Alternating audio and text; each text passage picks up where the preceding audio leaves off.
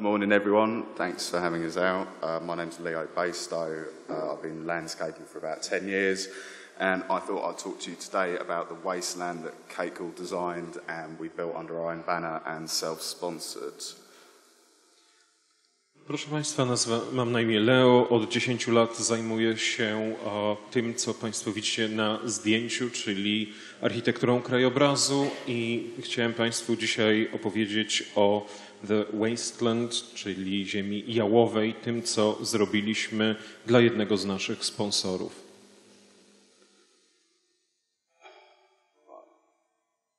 This was the finished product. Uh, we had 16 days to get to this point. Um, to be honest, it was probably the most stressful build that Kate and I have ever done in our lives. Um, but it was a good experience.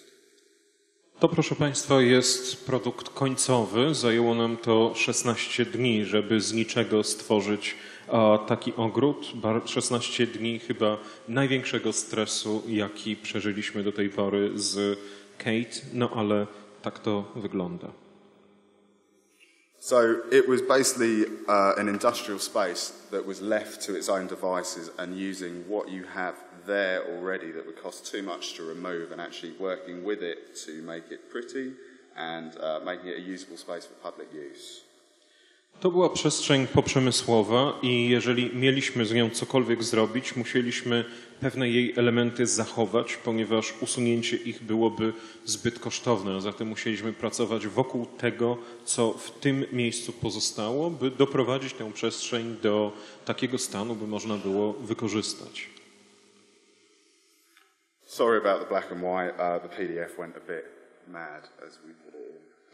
Przepraszam bardzo za to, że jest tutaj tylko czarn, biel, odcienie szarości, ale coś nam zwariowało w PDF-ie, jak to wklejaliśmy. so yeah, this, this is the layout of the garden as we're working to. Uh, it just shows the the hard landscaping mainly. Tak wygląda to, co e, robiliśmy, tak to wygląda w naszym e, projekcie. Przede wszystkim elementy tej twardej architektury tutaj Państwo widzicie. So, uh, day one, uh, on the far left, this is what you turn up to at Chelsea uh, a scraped area of grass uh, that you have to check for your measurements to make sure you get your 10 by 10 plots. Pierwszy dzień przyjeżdżamy do Chelsea. To, co musimy zrobić, to przede wszystkim wymierzyć, czy faktycznie nasza działeczka ma 10 na 10 metrów. The space at Chelsea is probably the most confined space you'll ever work in as a contractor. Um, you have 20 to 30 other contractors all trying to do the same things as you at the same time. As you can see, uh, where the, uh, the forklift is, we pinch as much space as possible throughout the build and uh, Proszę Państwa, y, to nie tylko chodzi o to, że mamy bardzo ograniczoną przestrzeń, ale to, że tak naprawdę zmorą wykonawcy jest to, że w Chelsea wokół nas pracuje 10 czy 20 innych wykonawców, którzy w tym samym czasie, w którym my coś robimy, robią coś za jeszcze nieistniejącą ścianą. Tam, gdzie Państwo widzicie po lewej stronie na y, dole podnośnik, staramy się maksymalnie wykorzystać tą y, wtedy jeszcze y, dostępną dla nas przestrzeń. Uh, we had all of our concrete prefabbed offsite uh, made with steel frames and mainly a hollow construction to save on weight and cost of materials. And because of the eco nature of the garden, it was reconstituted concrete, reformed um, from a crushed aggregate, and then using cement again. To, co tutaj mamy, y, tworzy, budowaliśmy poza terenem ogrodu, wszystko zostało sprefabrykowane poza. Y, Korzystamy z, zatem z prefabrykatów, które zostaną potem połączone. Będą to wszystko formy puste w środku po to, żeby oszczędzić na y, kosztach. Wykorzystujemy materiał, który pochodzi z a, przemielenia materiałów starszych, a zatem zgodnie z zasadą ogrodu, który, znaczy ogrodów, które tutaj się buduje, jesteśmy jak najbardziej eko. Um, we, we had a plan set out to start off with getting the boundaries in and up before we started closing up spaces with plants and access for machines in. Zaczynaliśmy od tego, by postawić poszczególne granice, czyli e, ściany i zrobić to w taki sposób, żeby można było jak najdłużej do naszej działki docierać e, pojazdami. Um, we had a concrete canopy that was made in uh, a cantilevered fashion, um, so we had to get that in and fitted uh, as soon as possible. It was a bit of a hairy moment getting that in. Jednym z tych momentów, kiedy naprawdę włosy na karku nam stawały, było zamontowanie tej, tego betonowego daszku. Uh, with the concrete, the distress looks on it were, were formed by soft sand being put in areas during the, uh, the curing processes. And as you can see on the pillar running down, that was an area of soft sand left in there and then brushed off once everything had been removed to give it the aged effect. W jaki sposób postarzaliśmy nasze elementy betonowe? Po prostu wtedy, kiedy ten e, beton się nam zestalał, dodawaliśmy do formy po prostu trochę miękkiego piasku. Po czym, kiedy już na miejscu zainstalowaliśmy poszczególne części konstrukcji, po prostu ten e, piasek wyszorowywaliśmy. Dzięki temu mamy taki właśnie efekt postarzenia. Uh, the comments we got from other contractors as our, our hardscape started to turn up quite amusing because they had never seen distressed concrete used in a show garden before. A dość y, ciekawe były komentarze naszych kolegów z sąsiednich ogrodów, kiedy zobaczyli coś takiego, ponieważ wyszło na to, że jeszcze nigdy nie widzieli tego typu formy, która byłaby w taki sposób postarzana. Um, even though the show's on for five days, it has to be built in a way that it could stay for a long time with, with structures like this Chociaż buduje się to tylko i wyłącznie na pięciodniowy show, to jednak struktury w typie tego daszku muszą być wystarczająco mocne, by przetrwały naprawdę bardzo długo. Oczywiście powodem jest BHP. Even with the best planning in the world, with prefab, as you can see, you, uh, this, this item was meant to be square running along the planter. We had about a 30 mil tolerance. Generally, Kate and I work to about a 2 mil tolerance on most of our jobs, so we were slightly out of our depth when the, uh, the items turned up this wrong. Uh, it took a lot of cutting and uh, probably a lot of swearing at the time as well.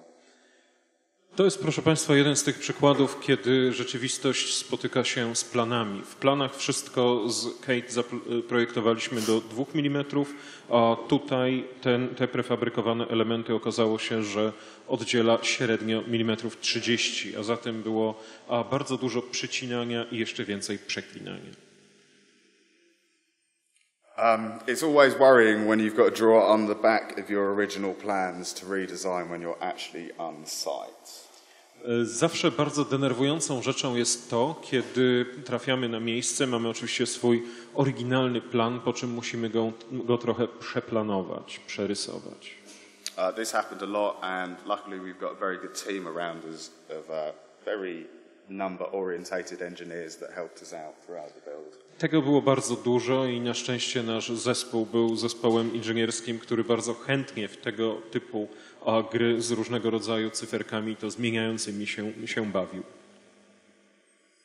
Um, again, the, uh, the problems with the material are quite obvious as you go through. The, um, the gap under the top riser, uh, under the top riser to the tread, that is meant to be solid concrete, and when it turned up, this is what we had. Uh, so that was quite a panicky moment. Uh, luckily, it was a two to one mix of sand and cement that got dobbed in quite quickly and uh, rectified that issue. Tak wyglądały elementy, które położyliśmy. Zaprojektowane były oczywiście bez tych szczelin. Nasze szczęście polegało jednak na tym, że była to mieszanka cementu, którą dało się w miarę szybko uzupełnić i potem wyglądało to już normalnie. Um, for the first time at Chelsea, uh, the new managers actually applied for planning permission to do the show, um, which had never been done before. This incurred uh, a lot of restrictions on noise and working hours. Um, back in the good days, we used to work all the way through, sometimes till midnight at night if we could get away with it. Now it's regulated between 7am and 8pm, and you have to be off site regardless. Y, Teraz niestety zmieniły się a, przepisy dotyczące hałasu w mieście i organizatorzy musieli uzyskać odpowiednie pozwolenie. Pozwolenie dawniej funkcjonowało w ten sposób, że można było ciężkim sprzętem pracować zazwyczaj do północy, czasami udawało się nawet po. Teraz y, cokolwiek się robi, robi się od godziny 7 rano do 8 wieczorem i o tej porze trzeba opuścić teren, cokolwiek chciałoby się tam robić. Um, again, going through the manufacturing process, you can actually see how the concrete was made up. Uh, our metal worker made up metal frames for them to apply a mesh and then spray the concrete on. Um, as you can imagine, uh, concrete against metal is quite a fragile material, and if lifted in the wrong way, it's very easy to crack with the depths that we were actually working with. And we did have quite a large crack on the top section of the paving from it not being supported within day two. Tak wygląda nasza e, struktura. Robimy rusztowania metalowe. Na tych rusztowaniach układana jest siatka, na siatce elementy e, betonowe. Jeżeli przenosimy elementy betonowe i kładziemy je, musimy pamiętać o zapewnieniu odpowiednich podpór. Tutaj drugi dzień naszej pracy, jeden z większych elementów pękł, ponieważ nie był odpowiednio podparty. Uh, machinery on site is obviously quite difficult to move around. Uh, as you can see, this is at the stage of Chelsea where the fresh gardens haven't come in, so there's actually quite a lot of space. Um, we try to get our trees and plants in and big items as quick as possible, but we are always fighting for space. Kolejna rzecz, która jest związana z e, Chelsea, to to, że na początku, póki jeszcze ta przestrzeń istnieje, nie została wydzielona, można przez tę przestrzeń, znaczy w tej przestrzeni jakoś się przemieszczać. Zawsze staramy się na tyle, na ile to jest możliwe, wszystkie duże elementy, także i e, drzewka, na nasz teren e, przenieść jak najwcześniej, ponieważ wtedy jeszcze tego typu przenosiny są łatwe. Uh, when our birch turned up, they hadn't even broken into leaf yet, so that was quite worrying for us. Um, when we started at Chelsea, we were about three weeks behind in the average growing season, so everything was held back, which is very nervous for all designers involved, and everyone was in the same boat this year, it seems. Wyglądało to jeszcze dość e, groźnie w tym roku, ponieważ wegetacja opóźniła się mniej więcej o trzy e, tygodnie, a zatem drzewa miały na sobie wciąż jeszcze dość niewiele listków. Bardzo zależało nam na tym, żeby na przykład z naszej brzozy nie uronić ani jednego. In Chelsea, because of the amount of machineries, uh, tree cover around it, it seems to be a microclimate, and everything seemed to catch up quite quickly once in the showground, which was very lucky. Za to to, co jest naprawdę bardzo dobre w Chelsea, to to, że kiedy tam coś się już postawi, dzięki temu, że tych drzew po prostu w małej przestrzeni jest więcej, także że pracują tam, pracuje tam sprzęt, a powstaje bardzo specyficzny mikroklimat, który przyspiesza wegetację, co w tym przypadku było dla nas naprawdę bardzo dobre. Um, there at the Birch, they had been on site for about a week and a half at that point, uh, and you can see they hadn't really broken into leaf I tutaj widzimy, jak wyglądają nasze brzozy, które znajdują się już na naszej działce od jakichś 10 dni mniej więcej i widzimy, że jeszcze listki na nich się nie pojawiają. uh, we had two Enkiantuses in Chelsea that year. Um, we had a very nice one in our garden, and it had to go in very early to get all the flooring and structures and water features around it, which is always quite nervous for machine drivers because we've got to lift over it, around it, and not damage it. To, co robiliśmy już po ustawieniu tych naszych brzózek, to było w zasadzie wszystko, łącznie z instalacją wodną, tak jak i te ciężkie elementy, które Państwo widzieliśmy.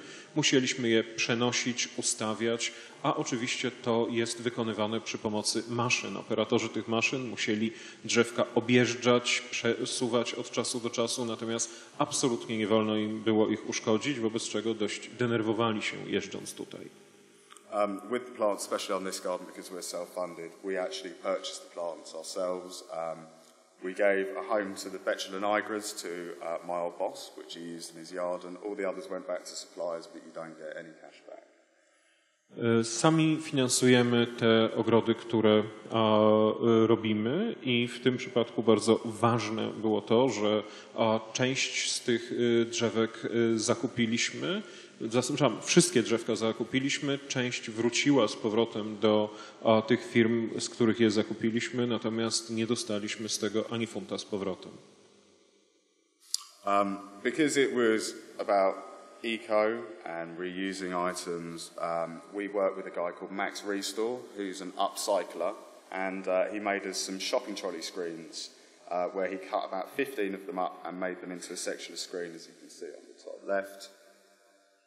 U góry po lewej e, widzimy człowieka, który nazywa się upcyclerem, czyli e, zajmuje się wykorzystywaniem tego, co zostało już kiedyś e, wykorzystane wcześniej. Część elementów, które miały służyć zasłanianiu czy przesłanianiu tego, co y, znajdowało się wokół naszego ogrodu, wykonał właśnie on z tego, co już kiedyś wcześniej było wykorzystane gdzie indziej.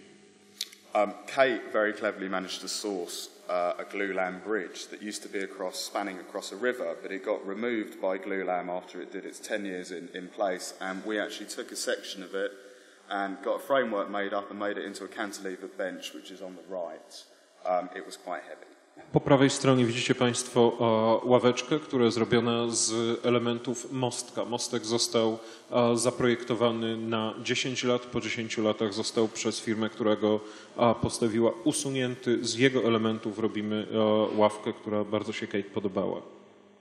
Um, everything in the garden uh, had a second life um, when we got it. The only thing that we actually imported in brand new was the fill in the pool. Everything else had a second life and a reused story behind it.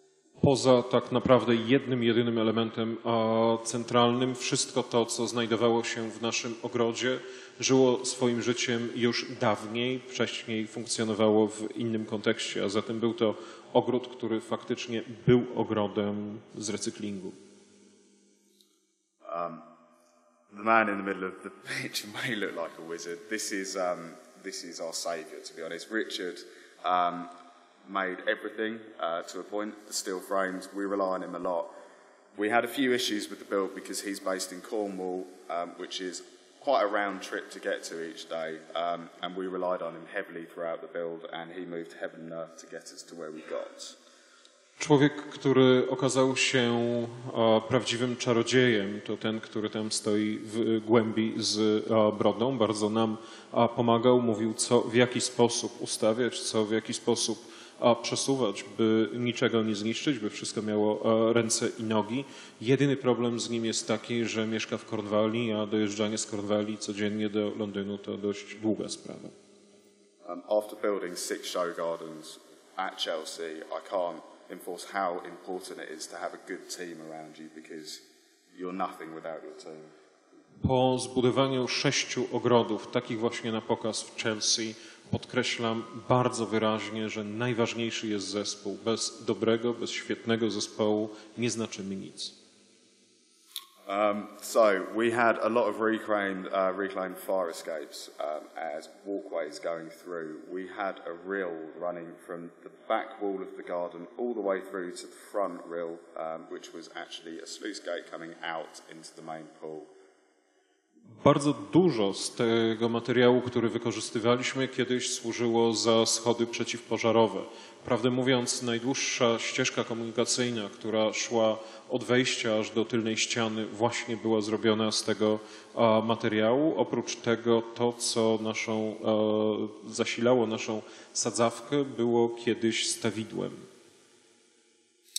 Um, we had quite randomly some ship valves that uh, Richard actually sourced from a shipyard, and I mean, they had everything from half a submarine to ship valves. There was everything available.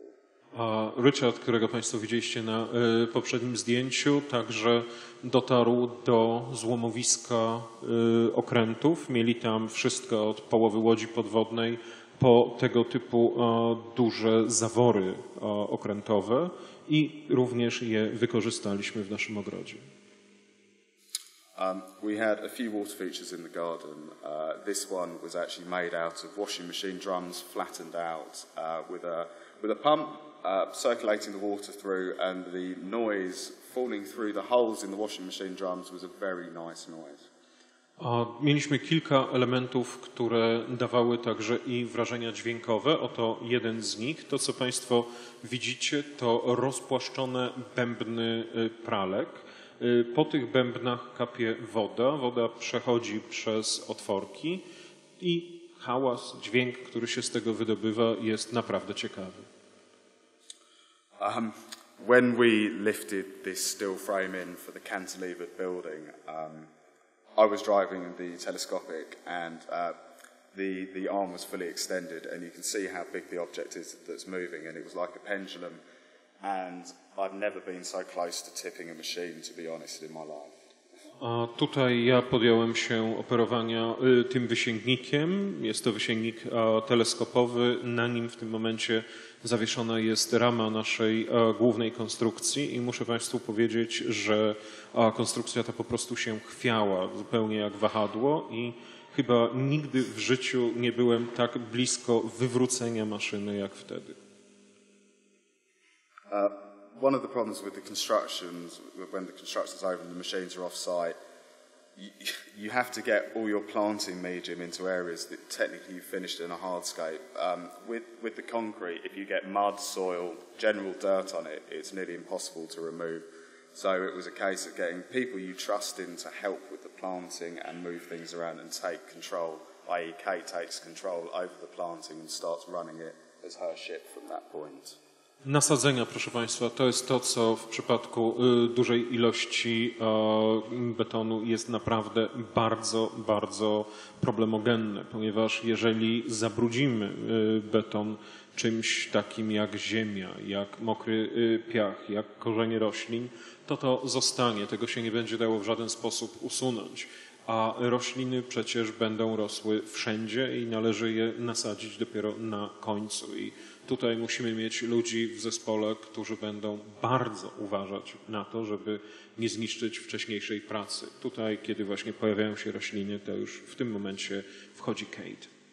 Uh, Kate and I have both done our fair shares of Chelsea's, and this was the one that we found most difficult to know if we'd, if we'd got a medal that we'd won. Uh, even right up until they were given out, we didn't have a clue. And, and to be honest, like feeling like that, where you don't know where you are after you put your heart and soul in, it's a very hard place to be after 16 days of 16 hour days with no break. Bardzo najcięższą rzeczą w tego typu przedsięwzięciu jest to, że kiedy najpierw umieści się te wszystkie twarde elementy, potem dodaje się te wszystkie miękkie, jeszcze niczego nie widać. I po pracy 16 dni, po 16 godzin dziennie, bez przerw, człowiek dalej nie wie, czy to, co zrobił, w jakikolwiek sposób zasługuje na ten medal, którego bardzo by sobie życzył. I tak właśnie z y, Kate się czuliśmy. I think the favourite phrase of the whole build was, it is what it is. Wydaje mi się, że podczas całego procesu tworzenia naszym ulubionym zwrotem było, no to jest tym, czym jest. Um, now we get to the pretty parts where um, the plants have all gone in. Kate and her team did an amazing job getting the plants in. Uh, we've still got all the canes holding things up, um, and this is the day before prejudging on the Sunday. So um, it, it's the time when you start going around and polishing leaves, getting everything looking perfect. And Kate and the plantsmen could do that for days if they had the opportunity.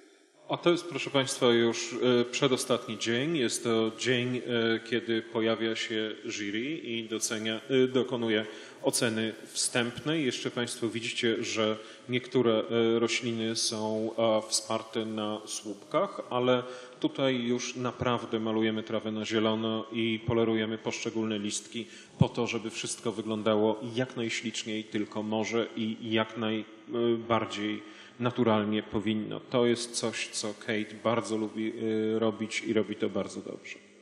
Um, a number of the plants are actually planted in the pot still to make it easier for plant sales on sell-off day at Chelsea. Uh, the ones at the front are normally removed from the pots because that's a judge's bugbear if they ever see a pot. Um, but generally, we try and keep the plants in pots towards the back that aren't seen, so it's easy to remove and transport or sell at the end of show. To, co e, robimy, część tych roślin, które tu Państwo widzicie, zwłaszcza te, które są dalej od e, oka sędziego, nadal są w doniczkach. Te, które są z przodu, zostały z doniczek przesadzone, ponieważ oko sędziego nie ma prawa zauważyć ani kawałka doniczki. Te, które są z tyłu, będziemy w stanie jeszcze po e, całym pokazie sprzedać, ewentualnie oddać tam, skąd zostały wzięte. With the water feature, um, it starts to get filled. In fact, I'll let you into a little secret. The, the edging with the moss running round was never supposed to be there. Um, we had a lot of problems, as mentioned before, with things not being the correct sizes and the tolerance being huge. Um, originally, there was never meant to be this planting detail in the pool. We had to fudge something together to get it in to make it fit because otherwise our metalwork wouldn't have fitted in the pool and we wouldn't have been watertight.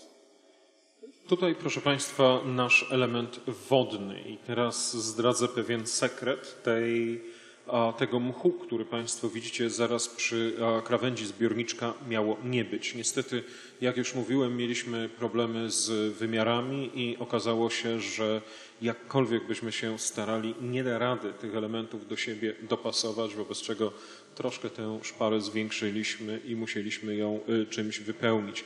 Było to również związane z zapewnieniem szczelności, by woda nie uciekała. Uh, quite a few people started throwing coins to wish us luck. Uh, it didn't come close to the price of the garden, unfortunately. And when they came to clear out the tank, um, at the end of builds, the RHS actually bring lorries round and suck all the water features out before, and I think the guys on that filled their pockets. Tutaj widzicie Państwo także i monetki, które wrzucano nam do naszej sadzaweczki na e, szczęście. Niestety nie wyglądało na to, by z tych monetek można było uzbierać fortunkę, która pokryłaby koszt tego ogrodu. Rzecz jeszcze gorsza, na koniec, kiedy już ogrody są likwidowane, przyjeżdżają specjalne maszyny i odsysają całą wodę z sadzawek, odsysają ją w naszym przypadku razem z monetkami. Zakładam, że y, operatorzy wypełnili sobie nimi wszystkie kieszeni. Um, the green wall uh, was one of my favourites. Um, just being in a, in a complete block gave a great effect against the corrugated boundaries and uh, it added a lot of interest in. Y, Tym, co nam się naprawdę świetnie udało, jest ta zielona ściana z e, tyłu. Bardzo dobrze nam ta zieleń narosła i dawała bardzo ciekawe wrażenie, zwłaszcza w porównaniu z inną fakturą e, pionu, tam gdzie mamy tą ścianę falistą. Um, as, as we started to get towards the end, everything started to come together and we did start to relax slightly. Um, as a garden, I really enjoyed building it and it did turn out very well, but stressing the point that this was the most technically awkward build that we've ever come across. And I think we'll, it, it, it nearly beat us, but we managed to pull it back in the end. Y, Tak to wyglądało już pod koniec procesu, kiedy powoli zaczynaliśmy już oddychać, mówiąc, no chyba się udało. W każdym razie jeszcze raz podkreślam, że z wszystkich naszych realizacji była to chyba ta, gdzie było najwięcej problemów, niedociągnięć technicznych i na koniec naprawdę musieliśmy powiedzieć, nie wiemy jak, ale jednak udało nam się to wszystko dociągnąć. As the garden progressed towards the end of the, uh, the show, it started to look fantastic on the last day. It filled out, all the leaves were full, and then the next day it started to get broken down. Um, we, we really enjoyed the look. Everything came together. I mean, the bathtub chair was from Max Restore. Again, uh, that got a lot of interest. Um, Gdy już w ostatnim dniu uzupełniliśmy nasz ogród o ostatnie elementy, zobaczyliśmy, że to wszystko faktycznie tak wygląda, jak wyglądać powinno. Oczywiście potem zaczęło się sypać, ale dodaliśmy właśnie jeszcze te wszystkie elementy, typu na przykład a, krzesło zrobione z wanny Maxa Ristora. Uh, we had walkways above the water feature going all the way around, which was a really nice detail, and it was actually quite nice to walk over. It's quite relaxing. Także bardzo o, fajne uczucie relaksacji mieliśmy, kiedy szliśmy sobie nad e, wodą przez te nasze mostki. Uh, just like to say, none of them are here, but we couldn't have done any of the work that we did without the team of guys that we used, and they were fantastic, and we can't fault them. And Kate and I couldn't do what we do without the people around us. A to są ci ludzie, którzy z nami pracowali i chociaż ich tutaj nie ma, to chcę ich uhonorować, ponieważ skate nie zrobilibyśmy tego, co zrobiliśmy, gdybyśmy nie mieli tych ludzi wokół siebie. Any questions? Czy są jakieś pytania? Czy wybierasz sobie to miejsce na Twoją ekspozycję, czy to jest losowo, y, ktoś Ci to wyznacza? Um, we, there, there's an uh, adjudication process that you have to go into. Um, what are the dates, sorry, Kate? Yeah. So you've got to, you finish in, well, June, and by August you've got to submit the next year's designs in for review. There's a very close window for getting in. Um, you can get turned down. Kate and I have been turned down by a few sponsors over the years for not filling the criteria that they want. It is a game. Uh, sometimes you win, sometimes you lose. It, it just depends if you're lucky or not. But yes, you do have to be selected. W ogóle zanim dojdzie do wyboru miejsca, to jeszcze muszą Ciebie e, wybrać. A W czerwcu przedstawiasz swój e, projekt, w sierpniu jest już zatwierdzenie, zatwierdzają sponsorzy i musisz spełniać pewne kryteria. Jeżeli ich nie spełniasz, to nawet nie ma co marzyć o tym, żeby trafić do e, Chelsea. Już i Kate i mnie również zdarzyło się to, żebyśmy nie zostali w ogóle zatwierdzeni. Niedyskretne pytanie. Czy powiesz, ile kosztowała ta realizacja? For the wasteland? £100,000. The Wasteland 100 tysięcy funtów, czyli 510 tysięcy złotych. Aha, jeszcze chciałam Ciebie bardzo serdecznie zaprosić do Gdańska. W Gdańsku jest stocznia gdańska, a w niej tyle elementów cudnych do realizacji w przyszłych latach w Chelsea. Zapraszam serdecznie. Nie tylko połowę łodzi, po, nie tylko połowę łodzi podwodnej, tam dużo więcej będzie. Dziękuję bardzo. Dziękuję bardzo również i ja.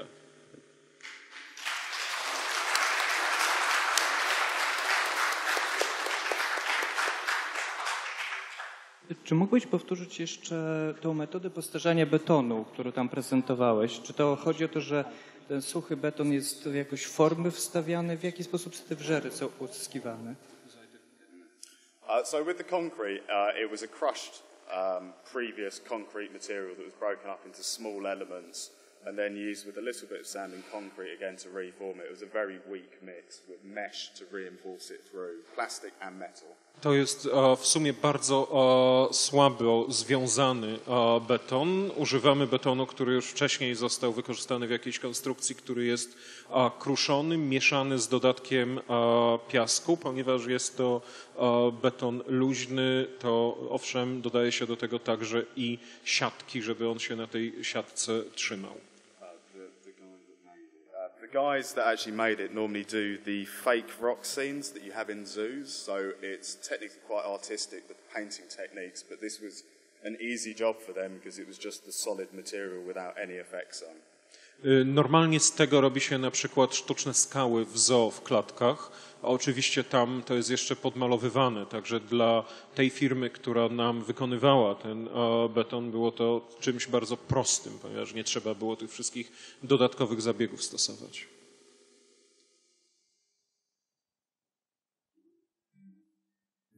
Ja mam jeszcze jedno pytanie. Tworzycie z panią Kate takie małe dzieła, e, realizujecie te małe ogrody e, dla osób prywatnych, ale co później? Co się dzieje później z tymi ogrodami? Czy e, opiekujecie się także nimi? Czy zlecacie to komuś? Czy właściciele to komuś zlecają? Bo jeżeli chcecie utrzymać ten sam efekt... Chodzi o Chelsea. Nie, nie, nie. Chodzi o te prywatne realizacje. a private garden, um, we, we, we like to advise our clients to take maintenance from the guys that actually build the gardens. We try and do a complete package all the way through. So partly we have control and the client gets what they're actually paying for and it's controlled throughout.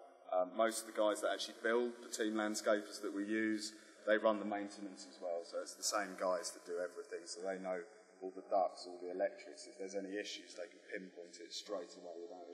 Zwykle wygląda to tak, że już na etapie projektowania zwracamy właścicielowi uwagę na to, że chyba najlepszym człowiekiem do opiekowania się później ogrodem będzie człowiek, który ten ogród faktycznie budował, ponieważ oni dokładnie wiedzą, gdzie znajdują się na przykład jakieś możliwości podłączenia się do kabla elektrycznego, gdzie ten kabel przebiega, gdzie ewentualnie może być e, jakiś zawór wodny, który może e, zacząć przepuszczać. A zatem sugerujemy, żeby ten sam zespół, który zajmował się budową, później zajmował się utrzymaniem takiego ogrodu. Um, I think a good saying is a good garden's 40% design and 60% maintenance. Powiedziałbym tak, dobry ogród to 40% projektu, czyli designu i 60% to jest jego utrzymanie, remont.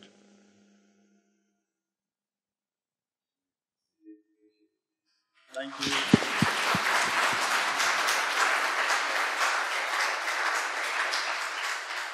Państwa i na koniec